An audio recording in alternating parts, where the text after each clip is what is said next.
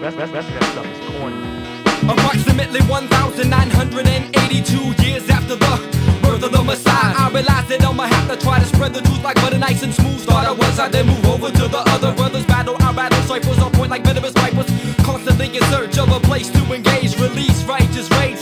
Massacre my trap now, flagging in all directions. Now watch me take flight, guard your girl from the saliva, and they still pass me another mic.